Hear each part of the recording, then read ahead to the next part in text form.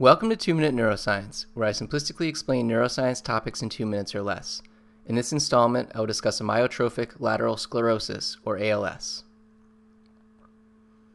Also known as Lou Gehrig's disease in the US and motor neuron disease in the UK, ALS is characterized both by muscle spasticity and a progressive weakening of the muscles. As the disease progresses, patients may lose hand and arm function and experience difficulty walking, speaking, and even breathing. Respiratory failure is often the cause of death, and the average survival time from diagnosis is around 3 to 5 years.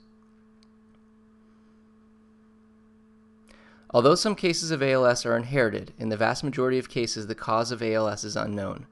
ALS is a neurodegenerative disorder, meaning it is characterized by the degeneration and death of neurons. Specifically, the affected neurons in ALS are called upper and lower motor neurons. Upper motor neurons extend from the cerebral cortex or brainstem and carry motor information down to the spinal cord. Lower motor neurons extend from the spinal cord or brainstem to skeletal muscle to cause movement.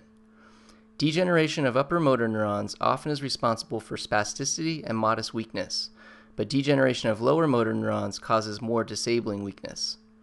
As the motor neurons stop working, muscles also begin to atrophy. Mutations in several genes have been linked to the development of ALS, but the effects of the, the, mutations are not completely clear, and the mechanism that causes neurodegeneration in ALS is still not understood. Similar to other neurodegenerative diseases like Alzheimer's disease, ALS is characterized by the accumulation of dysfunctional proteins within neurons. Although the impact of these protein groups or aggregates is unclear, it is hypothesized that they could impair neuronal function.